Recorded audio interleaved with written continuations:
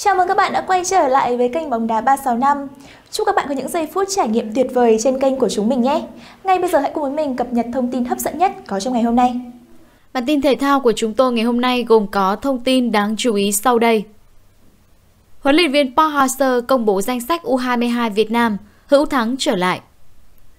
Huấn luyện viên Park Hang-seo mới đây đã công bố danh sách 30 cầu thủ của U22 Việt Nam để chuẩn bị cho vòng loại U23 châu Á 2022 với sự trở lại của tiền vệ Nguyễn Hữu Thắng. Sau khi công bố danh sách đội tuyển Việt Nam, chiều ngày 27 tháng 7, huấn luyện viên Paul Hang-seo đã gửi đến Liên đoàn bóng đá Việt Nam danh sách tập trung của tuyển U22 để chuẩn bị vòng loại U23 châu Á 2020. Có tới 30 cái tên góp mặt trong danh sách triệu tập lần này của ông Park Hang-seo. Danh sách tập trung hầu hết là những gương mặt quen thuộc. Đáng chú ý, tiền vệ hữu thắng của Viettel đã có mặt trở lại sau khi bị loại sớm ở lần tập trung gần nhất. Tân binh duy nhất trong lần tập trung này, Phạm Mạnh Cường, anh chơi ở vị trí thủ môn của U21 Viettel, chủ nhân của giải thủ môn xuất sắc nhất vòng chung kết U21 quốc gia 2020. Hầu hết các cầu thủ có tên trong danh sách đều là những gương mặt được đánh giá là có sự hòa nhập tốt và phù hợp với lối chơi mà huấn luyện viên Park Hang-seo đã xây dựng cho U22 Việt Nam. Được thể hiện thông qua các đợt tập trung của năm 2020 cũng như đợt tập trung gần đây nhất hồi tháng 5 vừa qua. Theo kế hoạch, U22 Việt Nam dự kiến hội quân trở lại vào ngày 10 tháng 8 tới đây tại Hà Nội. Cùng thời điểm này, đội tuyển Việt Nam cũng tập trung để hướng đến vòng loại cuối cùng World Cup 2022 khu vực châu Á. Danh sách triệu tập U22 Việt Nam Thủ môn Quan Văn Chuẩn, Phú Thọ Trịnh Xuân Hoàng, Thanh Hóa Phạm Mạnh Cường, Vĩnh Phúc Hậu vệ Nguyễn Duy Kiên, Công an Nhân dân Đặng Văn Tới, Nguyễn Văn Minh, Hà Nội Dụ Quang Nho, Hải Phòng Trần Văn Công, Hồng Lĩnh Hà Tĩnh Hoàng Xuân Tân, Nam Định Liễu Quang Vinh, EHB Đà Nẵng Mai Sĩ Hoàng, Sông Lam Nghệ An Đoàn Anh Việt, Than Quảng Ninh Cao Trần, Hoàng Hùng, Viettel. Tiền vệ Lê Văn Độ, SHB Đà Nẵng, Nguyễn Hồng Sơn, Hà Nội, Trần Bảo Toàn, Hoàng Anh Gia Lai, Mai Xuân Quyết, Nam Định, Phạm Văn Luân, Sài Gòn FC, Nguyễn Đình Sơn, Nam Định, Huỳnh Công Đến, Đà Nẵng, Nguyễn Văn Việt, Sông Lam Nghệ An, Nguyễn Hai Long, Than Quảng Ninh, Nguyễn Trọng Long, Thành phố Hồ Chí Minh, Nguyễn Hữu Thắng, Việt Theo. Tiền đạo: Nguyễn Trần Việt Cường, BKMX Bình Dương, Lê Minh Bình, Công an Nhân dân, Trần Văn Đạt, Công an Nhân dân, Lê Xuân Tú, Hà Nội, Hồ Thanh Minh, Huế, Nhâm Mạnh Dũng, Việt Theo. Tin tiếp theo, Công Phượng để ngỏ trận gặp Australia.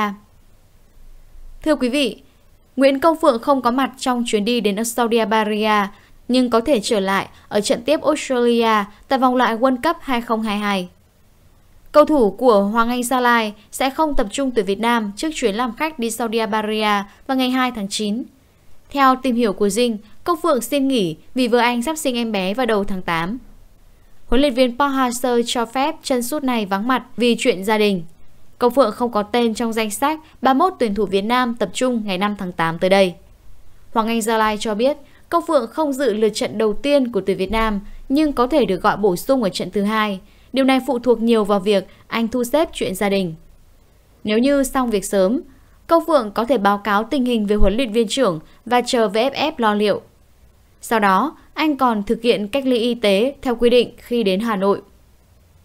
Trước những trở ngại vì ảnh hưởng của dịch COVID-19, việc Công Phượng có kịp tái xuất cho trận gặp Australia vào ngày 7 tháng 9 hay không vẫn còn bỏ ngỏ. Hai trận đấu cách nhau chỉ 4 ngày. Huấn luyện viên Park rất đồng cảm với cậu học trò và tạo điều kiện tốt nhất có thể để Phượng lo cho gia đình. Ông thầy người Hàn vốn được biết đến là một bậc thầy tâm lý và thấu hiểu các cầu thủ của mình. Công Phượng vẫn đang tập luyện ở Pleiku dưới sự hướng dẫn của huấn luyện viên Kiatisak Senamuang. Lần này anh sẽ không đi cùng 7 thành viên Hoàng Anh Gia Lai ra Hà Nội vào ngày 4 tháng 8. Ngoài Công Phượng và Đỗ Hùng Dũng không có tên, thủ môn Đặng Văn Lâm cũng vắng mặt. Anh đang chơi bóng ở Nhật Bản cho Stereo Osaka nên không thể về Việt Nam tập huấn. Tin tiếp theo, báo Thái Lan gọi Công Phượng là siêu sao, bất ngờ với danh sách của đội tuyển Việt Nam. Truyền thông Thái Lan bất ngờ khi Công Phượng vắng mặt trong danh sách tập trung mới được công bố của tuyển Việt Nam. Chiều ngày 26 tháng 7, VFF đã công bố danh sách sơ bộ 31 cầu thủ của tuyển quốc gia Việt Nam tập trung để chuẩn bị vòng loại World Cup 2022. Đáng chú ý, Công Phượng không có tên ở đợt hội quân lần này. Đây là bất ngờ rất lớn với người hâm mộ. Không những vậy, truyền thông Thái Lan nhanh chóng đưa tin về bản danh sách này. Tờ nhật báo thể thao hàng đầu của Thái Lan Sian Sport sớm chạy tít. Đội tuyển Việt Nam công bố danh sách 31 cầu thủ chuẩn bị vòng loại World Cup. Nhóm 6 cầu thủ đến từ đội bóng của huấn luyện viên Zico Kiatisak là những người đáng chú ý nhất. Siêu sao của Hoàng Anh Gia Lai và đội tuyển Việt Nam là Nguyễn Công Phượng không tham gia đợt tập trung, nhưng các thành viên khác thuộc đội bóng do Zico Kiatisak Senamuang dẫn dắt vẫn là những cái tên gây chú ý. Nhóm này gồm có 6 cầu thủ.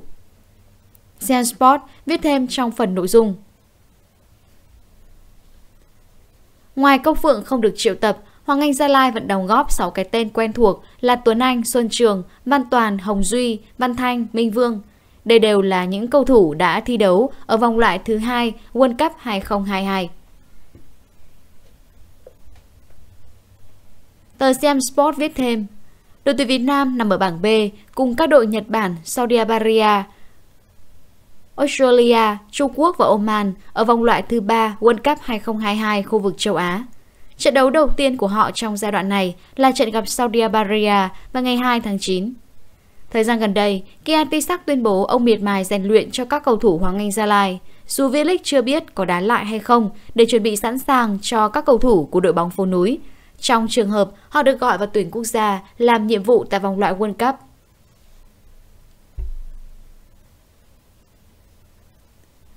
Chuyên gia Trung Quốc phân tích tổn thất nặng nề của đội tuyển Việt Nam trước thềm vòng loại World Cup. Sự thiếu vắng của công phượng ở tuyển quốc gia Việt Nam thu hút sự quan tâm của truyền thông Trung Quốc. Trong bản danh sách mà ông Park gửi lên VFF tập trung đội tuyển Việt Nam vào ngày 5 tháng 8, đáng chú ý không có sự xuất hiện của tiền đạo Nguyễn Công Phượng. Đây được xem là một thông tin gây chấn động bởi lẽ sức hút của ngôi sao quê Nghệ An cực kỳ lớn với người hâm mộ Việt Nam. Lý do được cho là bởi Công Phượng đã xin phép huấn luyện viên Park Hang-seo được vắng mặt trận đầu tiên vòng loại thứ ba World Cup 2022 để ở nhà hộ đê. Bởi lẽ viên minh vợ Công Phượng chuẩn bị sinh em bé, dự kiến vợ Công Phượng sinh con vào tháng 8 năm nay.